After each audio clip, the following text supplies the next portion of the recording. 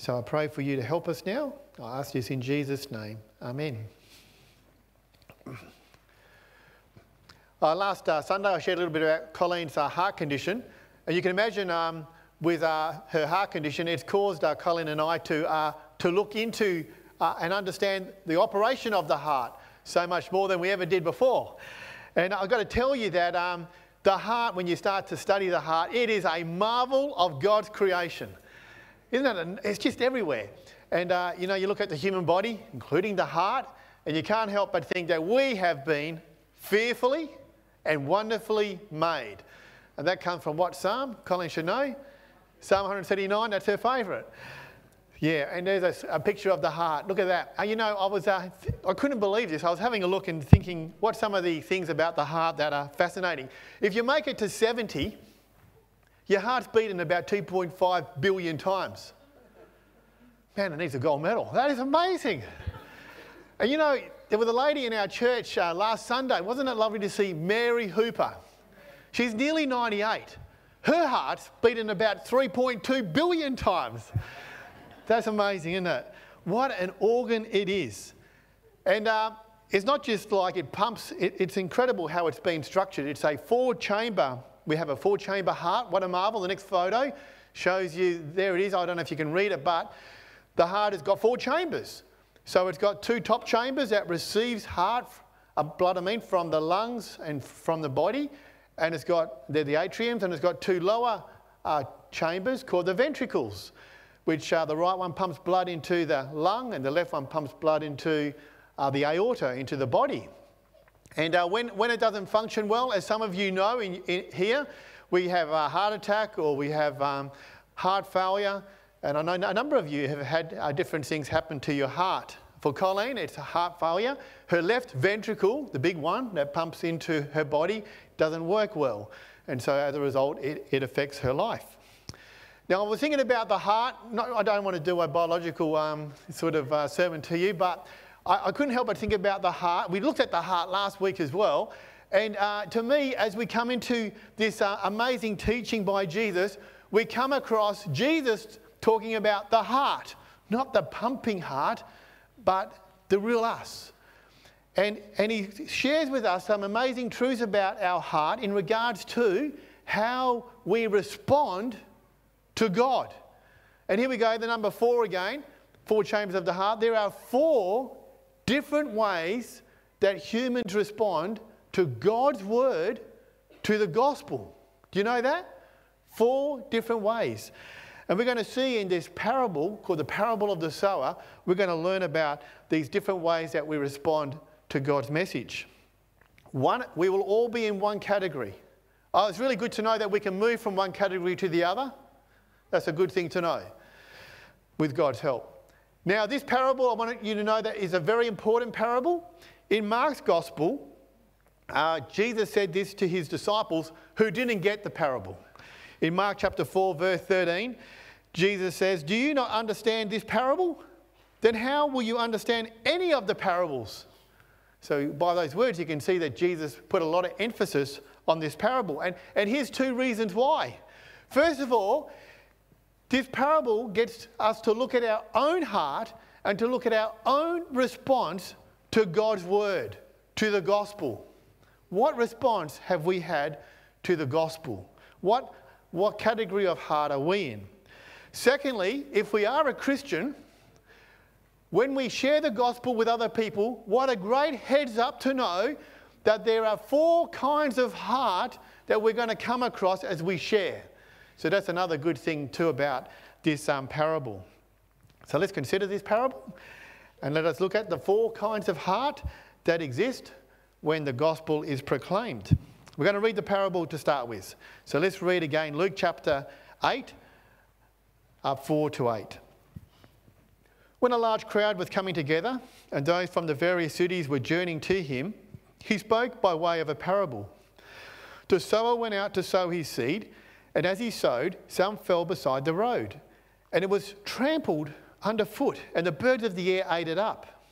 Other seed fell on rocky soil, and as soon as it grew up, it withered away because it had no moisture. Other seed fell among the thorns, and the thorns grew up with it and choked it out. Other seed fell into the good soil and grew up and produced a crop a hundred times as great. There's a parable.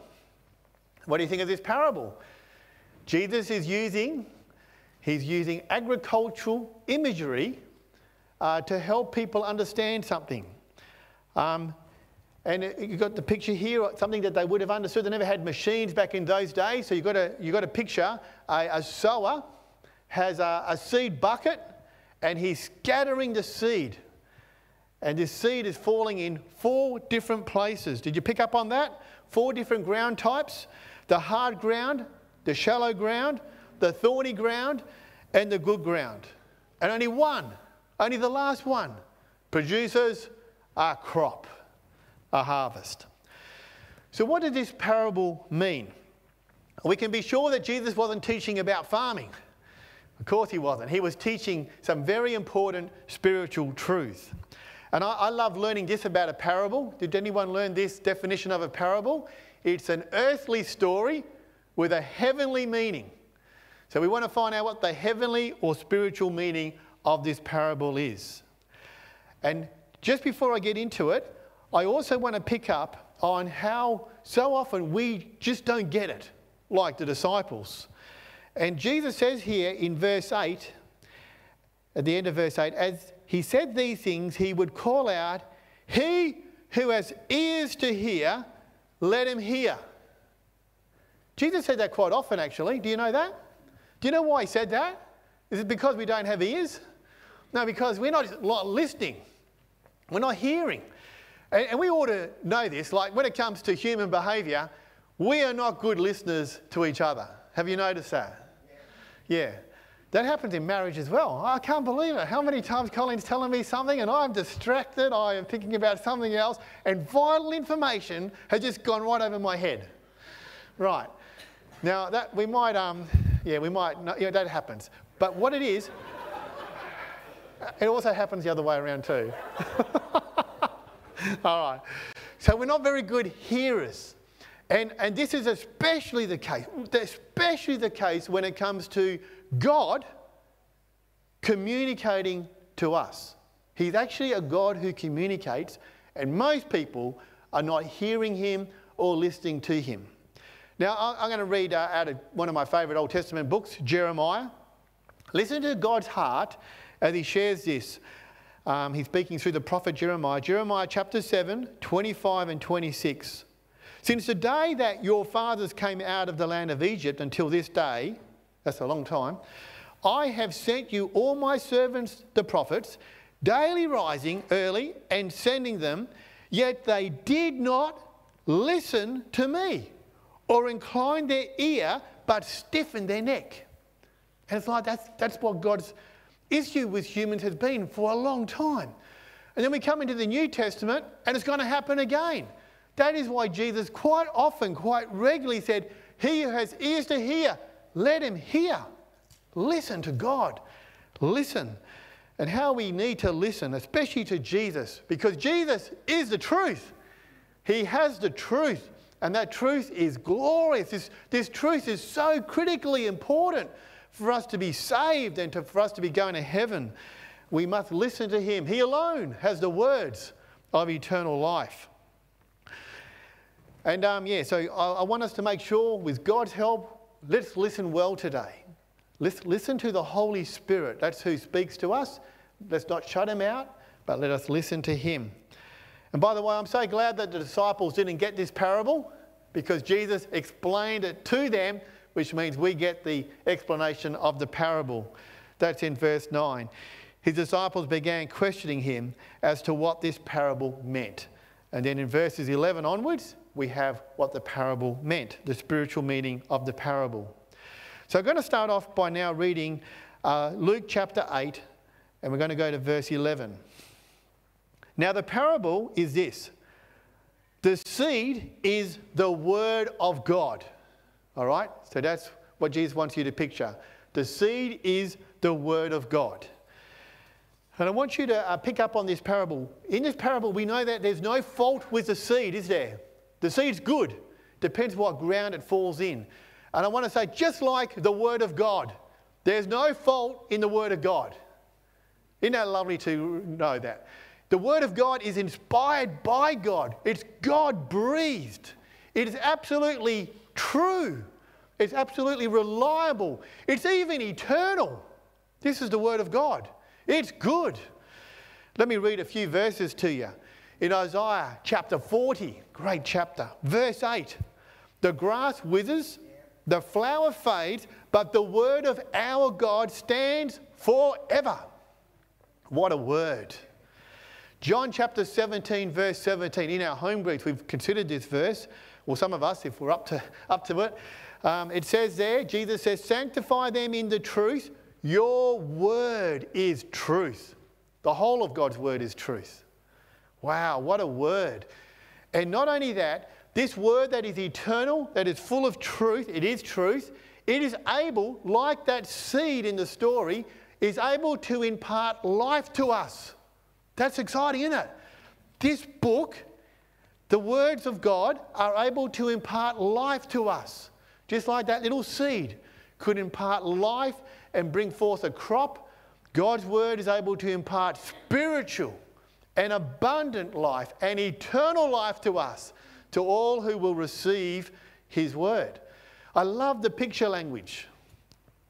Right, and I'm going to read to you now another verse. James, I love this one. James chapter 1, verse 21.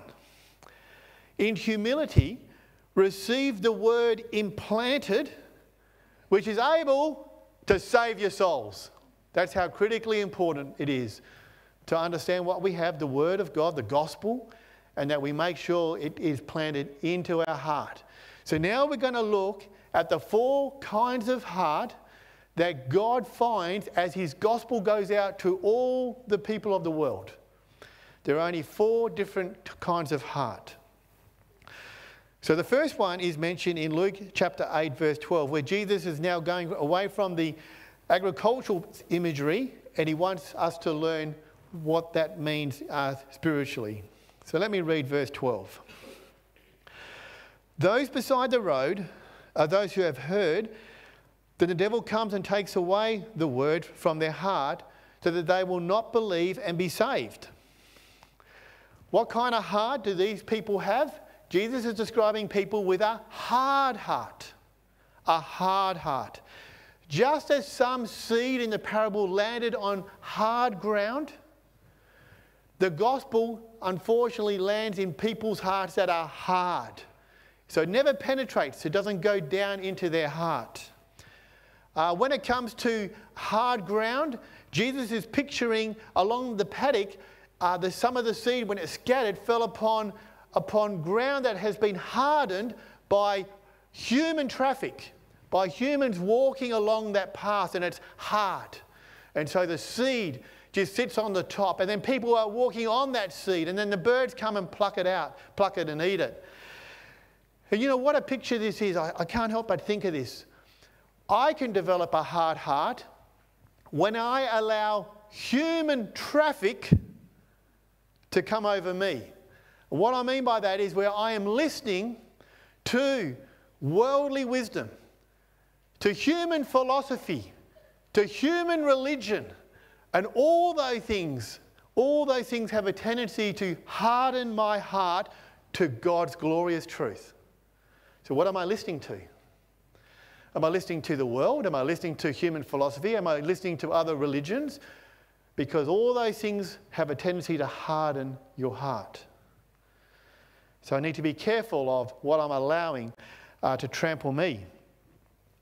And I know there are other reasons why we can have a hardened heart too. Like I know that there are horrible circumstances we go through, and, and some people, they just repel the gospel. They can't make sense of their circumstances. Other people have had terrible religious experiences or whatever it might be, and our hearts become hardened. And we reject and even rubbish the gospel, and we dismiss it and discard it. I remember kids at school when they were getting a Gideon's Bible. You know, I got my Bible. I'm not a Christian yet, but I, I have respect for God's word. They, they just thought it was a great joke to see how far they could throw it. Talk about rejecting and discarding. They, they just throw in it, have no idea. They just think it's a load of rubbish. They've got a hard heart. What a tragedy. What a tragedy. The gospel alone can save us and give us eternal life. But when we have a hard heart, when we reject it, we cannot be saved. And not only that, Jesus tells us that uh, the, the picture language is, is that like the birds come and eat that seed, uh, the devil, because of our choice, the devil will come and take away that good seed, the gospel, so that we cannot be saved. It's not the devil's, we can't blame the devil, it's us. We've chosen to have a hard heart. So, as we go through these different hearts, we need to consider ourselves. I need to consider myself. Uh, do, do we have a hard heart? Many do. And we might think, oh, yeah, the atheist and people like that. No, no. There are people in church with a hard heart. Wow, that's, that's something. How can that be? Well, friends, it happens. There are people who go to church where church is just like a club thing. They just come and they, they come here, but they are hard. They have a hard heart when it comes to the gospel. They're not moved. Are you like that? They're not moved as they read about their own sin, as, as, as God convicts them of their own sin. They're not moved by God's incredible grace and favour to us. They are unmoved. They have a hard heart. They don't get so caught up in the goodness and grace of God. Do you have a hard heart? Here's a little thing I'd say to you. Oh, may God give you the heart of a guy in the Old Testament called King Josiah. When he heard God's word being read to him, his heart was warm and responsive. It says of him that his heart was tender and he humbled himself before God. May that be the heart we all have. Don't have a hard heart. Let's consider the second kind of heart in regard to a person's response to the gospel. And that's in verse 13. Those on the rocky soil are those who, when they hear, receive the word with joy, and these have no firm root. They believe for a while, and in time of temptation, fall away. So, what kind of heart does this person have? I'm going to call it a shallow heart. So, some of the seed uh, landed on shallow ground. It's just got a, a, thin layer of topsoil, and underneath is, um, is rock.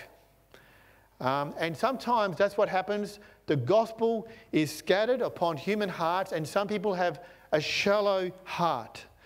The gospel cannot enter well and take root. That's the key. It doesn't take root. Do you, do you love the picture language here? Wow, so there is a, a large number of people like this. In shallow ground, the seed will sprout. It will be full of life for a bit, but it soon, but it soon dies when growing conditions become tough because there's not enough soil for the roots to get down. There's not enough moisture in that, in that thin layer of soil. And when it's a bit drier, when it's windy, it doesn't take long before that, that little plant uh, withers away. So, how does this relate to people with a shallow heart? Well, people can receive the gospel with joy. Who doesn't want to have their sin forgiven? Who doesn't want to go to heaven? Yeah, I'm going to say yes to that. But here's the interesting thing they never really develop root in Jesus in the gospel. So, and it shows itself. So when people begin to mock you and ridicule you for your faith, when challenging trials come upon your life, you turn away from Jesus because you signed up for not the Christian life, but the easy life. And so, as trials come, we end up turning away from Jesus. Sometimes these people leave church, other times they actually remain in church. We might have people today with a shallow heart. And what do they look like? They are people who are uncommitted. They actually are not following Jesus. In fact, they're like a chameleon. In the world, they act worldly. In the church, they act churchy, whatever that is. All right. They have no root. They don't really know Jesus. Wow, what a tragedy. They've never taken the time to grow in Christ and know Him. And they might call Jesus Lord. There's a passage on this in Matthew 7. They might uh, do, you know, do all that, but Jesus will say one day to them, you know those words? Matthew 7 23. I never knew you. Depart from me, you who practice lawlessness. And for them, the key thing is, I never knew you. You were just in it for what you can get. You weren't in it to know me. Right, so we need to look at our own lives. Am I, do I have a shallow heart? First of all, I need to realize I'm not saved yet. And I might call Jesus Lord and I might sing the songs of the faith, but I don't know Jesus yet. And that's a serious thing. And so, my appeal to you, if you're in that category, are the words of Jesus in Matthew chapter 16, verse 24. These are the words that caused me to be saved. And Jesus says, If anyone wishes to come after me, let him deny himself, take up his cross, and follow me. Whoever wishes to save his life will lose it, but whoever gives up his life for me will find life. What will it profit you if you gain the whole world and forfeit your soul? They are very important words. Right now, we're going to move on to the next kind of heart. So, Jesus describes this in verse 14. So, let me read verse 14. The seed which fell among the thorns, these are the ones who have heard, and as they go on their way, they are, uh, they are choked. On their way, they are choked with worries and riches and pleasures of this life and bring no fruit to maturity. All right, so what kind of heart is this? I'm going to call it the thorny heart. Now, we're not talking in the sense of a person being uh, thorny and prickly in their character. We're talking about being thorny in relation to their response to the gospel. And what Jesus is describing here is a person whose heart is full of thorns and weeds. In other words, other things, other things that are in their life that choke that strangle God's word. And some things are mentioned here by Jesus the worries of the world, riches, and pleasures. So we can have other things in our life that become the dominant thing in our life. And some of these things might be good, but actually, what it is, is this is what we're living for. It might be a person in our life, it might be um, our career, it might be sporting achievements. It might be our possessions, it might be our pleasures, but all these things, this is, this is the most serious one of all, this heart. This is so common. We have other things in our heart and we're not true to Jesus. He isn't the one we love the most, He is second. He's like insurance policy, just in case. But we're actually doing our own thing, living our own life. Oh, they're the kind of Christians we say, one foot in the world and one foot in the church. The gospel has never taken, taken hold of their life where their life has been transformed and, it's, and you see it, it, it shows itself to be to, that they are Christians, that they are bearing the fruit. Okay, so as, I'm sort of making clear, so far, all three cases of, of each heart, I want you to be clear about this that they are not Christians. Definitely the heart are, but so are the others. They're not Christians. They're not saved. They're not born again. They're not going to go to heaven. Jesus gives us this parable so that we can look at our heart. This is such an important parable. What kind of heart do we have? Now, in terms of the thorny heart, one day Jesus will say to those people, those words I've already quoted I never knew you. Depart from me, you who practice lawlessness. And I want to highlight the, that last bit you who practice lawlessness, or as the Australian way we would say, you who do your own thing. That's what they're up to. They're just doing their own thing. And if you're into that, just doing your own thing, really ruling your own life, doing what you want, then you're not there yet. And that's a serious thing to, to be close but not there yet. And so, what would I say to you? I would say to you one word repent. That is the cry of the gospel. Jesus cries it out repent. Turn away from that. Turn away from any other love, any idol in your life, any sin you're still wanting to do. Turn away from it and take hold of Jesus and make him everything. In Acts chapter 17, verse 30, the Apostle Paul declares, Therefore, having overlooked the times of ignorance, God is now declaring to all people everywhere that they should repent. So, people who don't repent are going to be in this category of having a thorny or weedy heart. And now we come to the fourth category, and that's in verse 15. And we read there, But the seed in the good soil, these are the ones who have heard the word in an honest and good heart and hold it fast and bear fruit with perseverance. Like the good ground that takes that seed, and from that seed comes life, and, and a crop is born. Uh, the good heart takes God's word into their heart. The gospel comes into their heart. It's planted and it grows and it shows itself by fruit being born.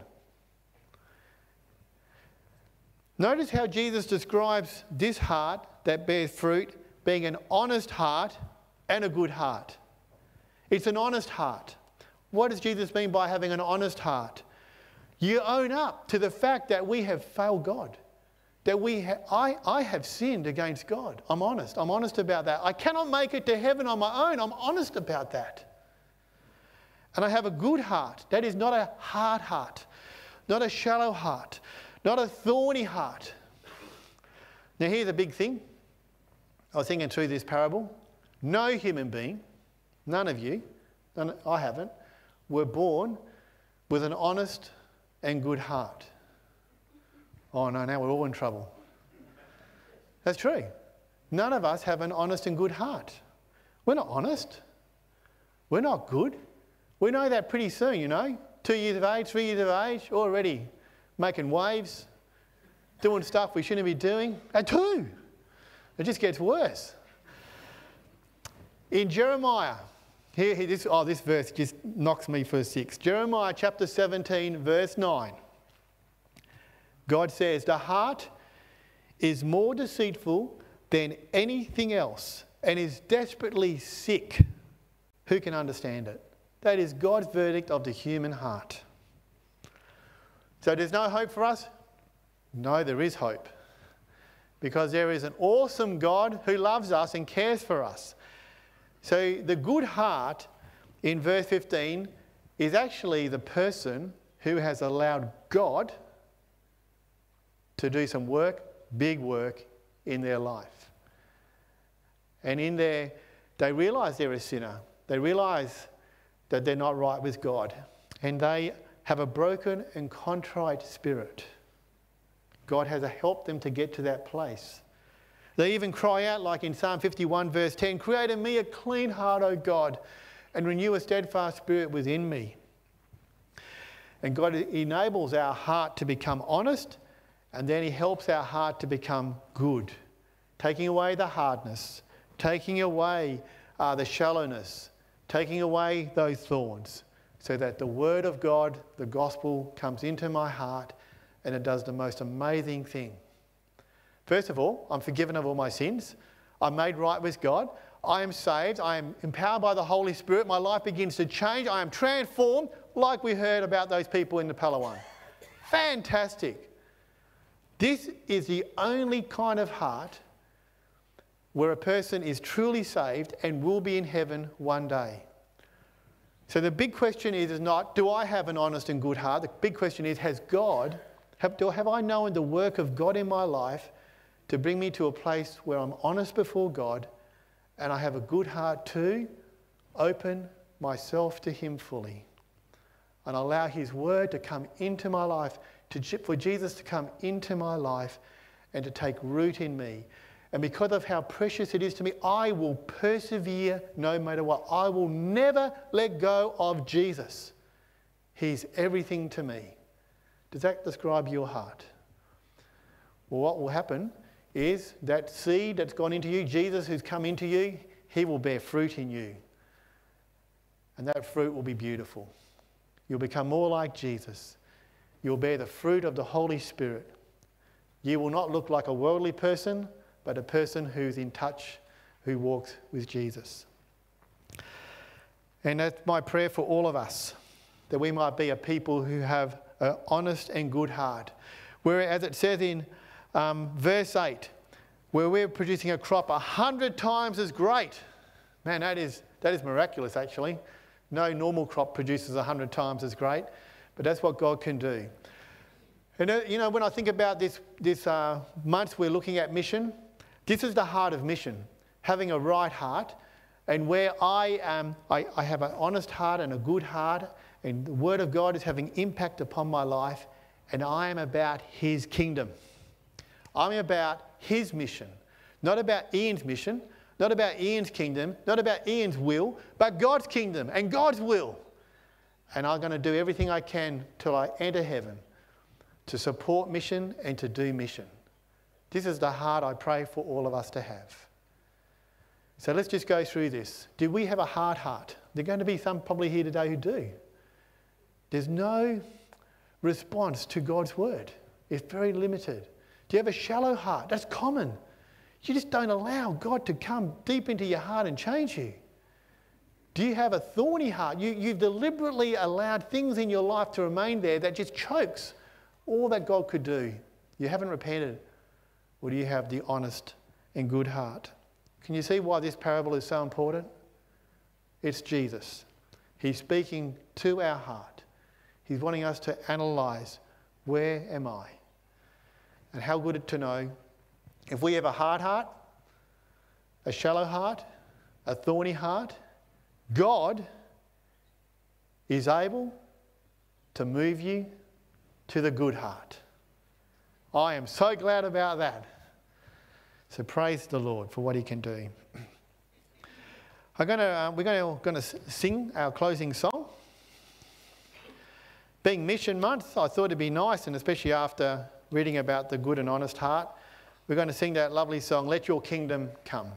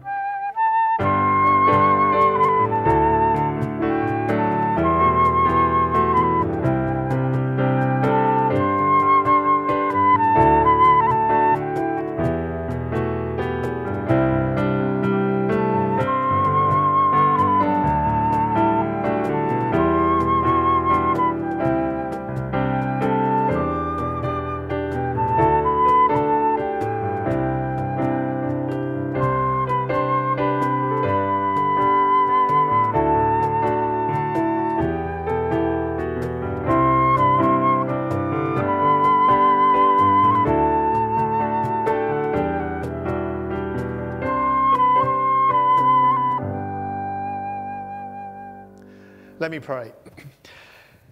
Now, Father, thank you for that song that we just sang. And I know that um, there's no way that we can really mean that song unless we have been blessed to have an honest and good heart. And that's the heart we want. Uh, we want to be saved. We want to be going to heaven. We want to know Jesus. And we want to be engaged uh, in his kingdom and his work. So, Lord, for any of us who aren't there yet, I pray for you to, to speak to our soul and to help us to come to that place where we, we are humble and honest before you and where we open our heart fully to your Son Jesus and his word coming into our life. Please, would you save us truly? And uh, if we're in the shallow ground, if we're in the thorny ground, please, Lord, help us to see that we're in a bad state. Even if we come to church, even if we uh, think we're a Christian, but we, we sort of know there's something not right. Please, would you help us? So I pray, Lord, I pray with all my heart that you would help all of us to make sure that we have transitioned into that right place and that it would show that our lives would bear fruit, that we would, it would show that we uh, love your Son and we are living for him. And I, I just want to ask, Lord, that you would help us, that it would be seen because we are engaged in mission. We do want to share the gospel we want to have boldness to speak so that other people can hear about your Son. Help us, Lord, to be about your kingdom. Thank you, Father, for this time we've had together. Thank you for Elise sharing with us this morning as well. We thank you in Jesus' name. Amen.